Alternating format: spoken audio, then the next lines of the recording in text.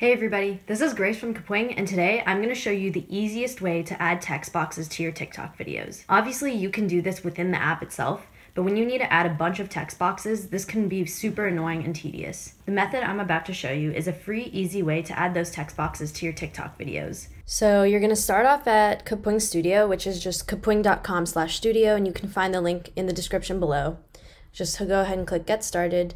And you can either upload your tiktok content or paste a link to it if you post it somewhere. Uh, i'm just going to upload my video. And once it's loaded just go ahead and add all the text boxes you want throughout the video. With any of the text boxes you can edit how they look on the sidebar here.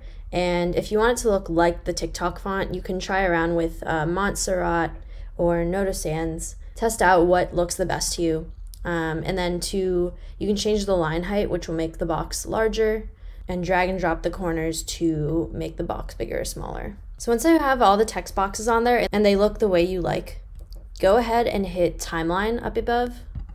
And this is where you can edit the timing of each text box. So you have to find each layer and then shorten or lengthen it according to when you want it to show up. So this timeline goes from left to right. The video plays from left to right.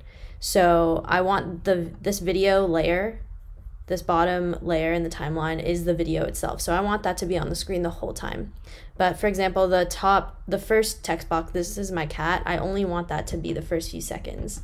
And in true TikTok style, I'm gonna have each of the other text boxes appear and disappear um, in like a waterfall sequence.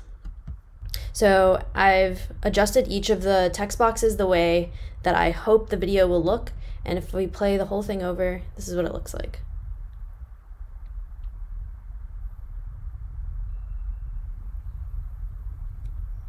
Cool, so that's pretty accurate to what I wanted it to look like. If you want to make any finer adjustments to the timing, um, you can click the layer you want and then go up to the left corner and lengthen or shorten when it starts or stops. Once you like how the video plays through, you can just go ahead and click done and then just click publish.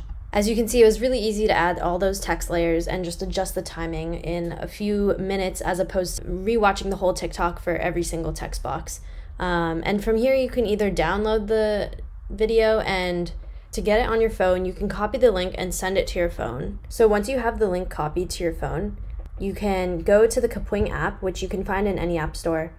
Um, it's just a simple app to help you get these videos to your phones. So just go to the Kapwing app, paste the link, and hit continue.